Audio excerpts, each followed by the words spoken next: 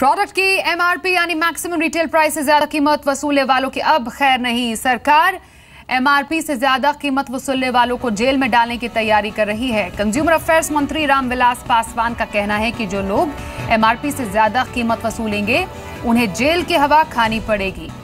इसके लिए उपभोक्ताओं को शिकायत दर्ज करानी पड़ेगी। पासवान ने कहा कि चाहे शॉपिंग मॉल हो या फिर होटल या फिर एयरलाइंस, कहीं पर भी एमआरपी से ज़्यादा कीमत वसूलना गैर कानूनी है। पासवान के मुताबिक, अगर किसी प्रोडक्ट पर एमआरपी नहीं लिखी है तो ये भी गैर कानूनी है।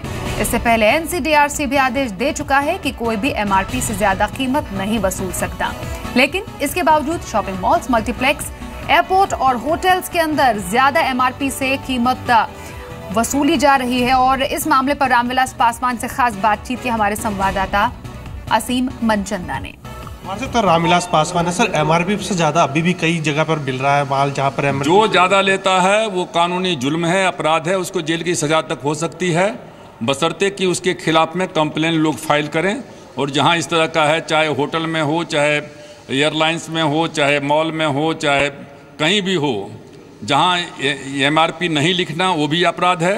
और एमआरपी से ज़्यादा लेना वो तो और अपराध है। लेकिन सर कई जगह लिखा रहता है for sale in select channel वहाँ एमआरपी भी साठ रुपए रहेगा वहाँ बोतल आप बाहर खरीदिए दस रुपए बोतल है। उसके खिलाफ में अब उसके लिए चान कानून जो है जो नेशनल कंज्यूमर कोर्ट है उसने आदेश दे दिया है कि एमआरपी से ज़्यादा कोई नहीं ले सकता है। सर इसके अलावा सर सेलिब्रिटी को लेकर के कोई योजना है आपकी सेलिब्रिटीज को लेकर के तीन तरह की बातें हैं जो वो स्टैंडिंग कमेटी ने कहा कि जेल की सज़ा होनी चाहिए दूसरे राज्यों में देश देश में जो है कहीं उसके संबंध में जो है विज्ञापन पर रोक है कहीं जो है फाइन है।